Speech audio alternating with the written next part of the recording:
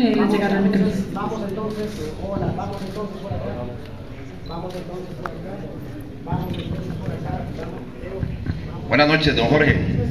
Traté de, de liberarme un poco de la rabia con el técnico de la selección de, Hondu- del- de El Salvador, con el juego reiterativo que golpearon demasiado con la complacencia de un árbitro, ¿verdad?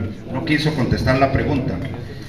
Eh, yo focalicé, y eso es lo que quería compartir con usted, este, dos, dos volantes centrales con una pésima salida, ¿verdad? No fueron nunca la plataforma clara de salida en Costa Rica y obligaron a los dos centrales nuestros a reventar y reventar constantemente este, pelotas. Hicimos un, fútbol muy largo, muy largo y que nos dejó más dudas todavía que las que, teníamos, eh, don Jorge. Me parece que ahí yo por lo menos fue donde vi el, el gran problema del equipo de Costa Rica. Nunca tuvimos este, salida, nunca tuvimos creatividad en la media cancha y principalmente por el centro. Muy buenas noches a todos. Yo pienso que hay detalles más importantes que ese aspecto, que no tuvimos salida porque ellos nos supieron presionar por ratos y nos faltó solvencia en algún momento, pues de movilidad, de manejo de pelota simple, de salir un poquito más rápido. Comparto su apreciación que por ratos nos equivocamos. Fuimos un equipo que de alguna manera fue agresivo y que nos presionó por ratos. Yo también tengo que decir lo que el, pa- el partido tuvo tres trámites. Uno bueno de nosotros en el comienzo del partido donde pudimos asegurar el, el triunfo. Errores como el del tiro de esquina y el rebote cuestan los partidos. Tengo que decir lo que nos descuidamos.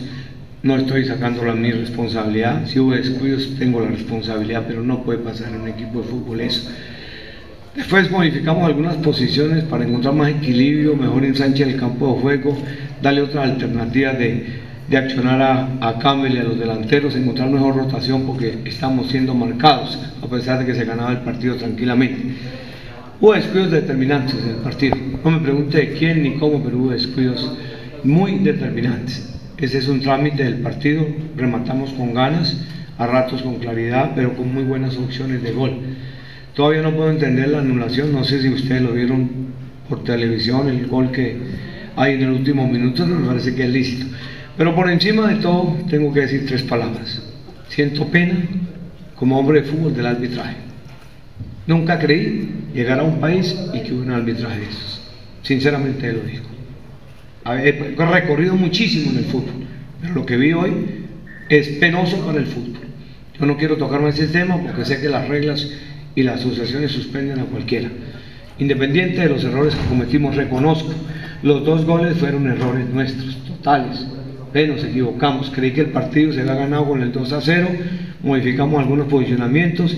En el segundo tiempo dimos alternativas para encontrar mejor presión, mejor accionar, encontramos por rato mejor presión, pero reconozco que nuestra línea de cuatro y a veces nuestro medio campo, Manuel comparto, no tiene la solvencia y total para el manejo de pelota que queremos.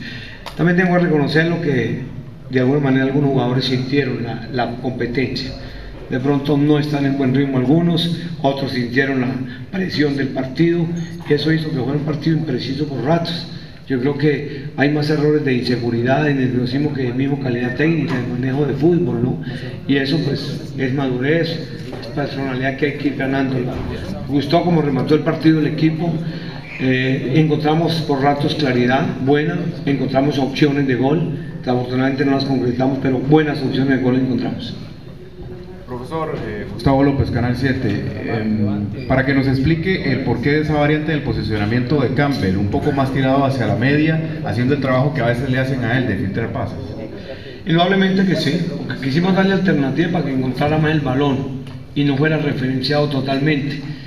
Manejamos una línea de tres en punta el comienzo del partido, después vimos que no teníamos la claridad en el manejo y lo mandamos a hacer un media punta y le dimos a una línea de cuatro más fútbol con Oscar, salida, después con Castillo. Yo pienso que ahí tuvimos opciones, tuvimos fútbol y confundimos un poco, porque si dejaba a Campbell en la posición de costado iba a ser marcado muy fácilmente. Entonces creímos que dándole alternativas, ganando un partido, iba a encontrar mejores opciones, más posibilidades de recibir. Como al rato la tuvo, ¿no? No hay que negarlo. Indudablemente que también le dieron, como ustedes dicen, chocaron, buscaron eliminarlo como fuera, con la complacencia del árbitro. Don Luis, Harold Leandro de la Nación. Eh, Este partido significa un, un caminar muy penoso en la cuadrangular, porque no No, fue penoso. no, No, si ustedes recuerdan la del 2006, empezamos peor y reaccionamos. Eh, yo pienso que todo es equilibrado. Hoy las cargas se han equilibrado con muchos equipos, todo el mundo creía que México iba a regolear a Guyana y tampoco, en fin, como todo, según entiendo dicen que Panamá le ganó a Honduras, no sé si es cierto, en fin, yo creo que perdimos una opción grandísima de irnos adelante, total, pero igual la competencia sigue y, así como ellos vinieron a empatar aquí, nosotros todavía podemos ganar o lo que sea, en fin, yo creo que la disputa sigue, son seis partidos, cinco partidos que quedan y tenemos que buscar el promedio de puntos.